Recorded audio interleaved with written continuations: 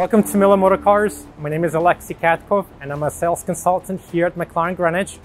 Would love to introduce to you my personal favorite 2019 roof scoop McLaren 600 LT.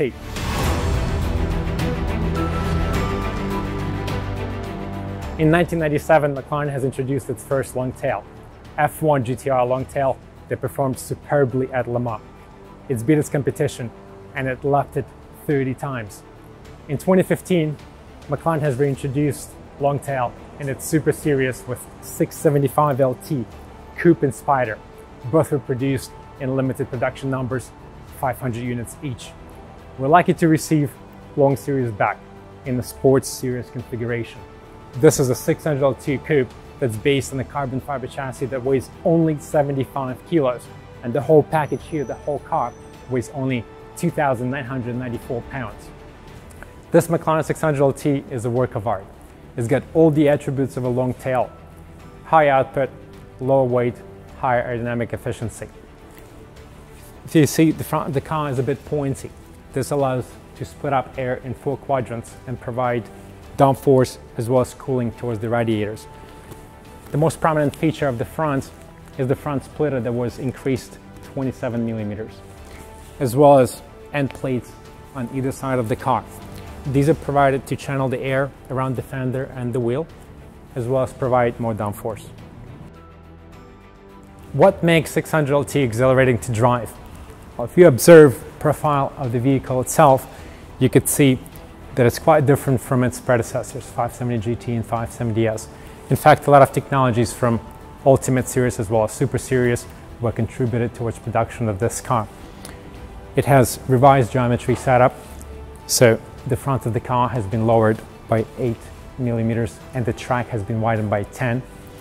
This particular wheel on the 600 LT is a 10-spoke ultra lightweight wheel in combination with the Pirelli P Zero Trofeo tire saves 17 kilos, which is tremendous. Along the profile of the car, you could find a redesigned skirt, which has fences on the front as well as the rear. These trap the air, push it towards the vehicle, and allow it to move it very quickly and cleanly along the side. You could also notice an extended intake duct. This inside contains a high temperature radiator to cool off the engine. As you could see, the form of the car resembles very much P1 design. This design itself is called a shrink wrap design. One of the most special things about 600 LT is its new top exiting exhaust inspired by McLaren Senna this setup is fully stainless steel. It is a much shorter exhaust compared to 570S, which contributes uh, dramatically towards weight savings, as well as positively affects the aerodynamics of the car. 600 LT has an extended bodywork. As you can see, the rear of the car is slightly more extended. It is precisely 47.1 millimeters with a fixed rear wing. Fixed rear wing provides much more downforce and it is finished in the center with a heat protective coating to make sure that the wing is not damaged while the car is operated on the track. The diffuser of the car resembles a full-on race car diffuser. As you could see, compared to a 570S and GT, the tailpipes are no longer existent and it certainly has a new aggressive look to the rear end of the vehicle. One of the most special features about this 600 LT is the McLaren Special Operations roof scoop that provides cooling towards the engine bay and gives a driver ultimate visceral experience on the track while cutting apexes. You can see that the roof scoop is complemented by the visual carbon fiber roof as well as contrails on the side. Let's take a look at the interior of this special chicane effect 600 LT. We'll enter interior through the dihedral door. Just for your information, dihedral doors tend to save weight versus the traditional doors. Um, on the inside, you'll find by McLaren designer Alcantara interior, which is much lighter and grippier versus the full leather setup. We're inside 600 LT Coupe. As you can see, again, it is wrapped fully in black Alcantara. Alcantara has beautiful features of the contrast stitching as well as as well as the MSO McLaren orange seat belts to complement the calipers and the exterior of the car. On the steering wheel, you could find extended pedal shifters from the MSO. these help driver to select gears much quicker and much better when on the track.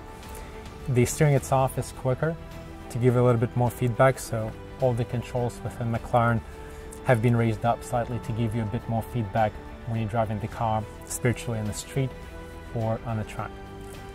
Within the interior, you could also notice much more carbon fiber. McLaren has not installed any carpets just to save the weight of the car.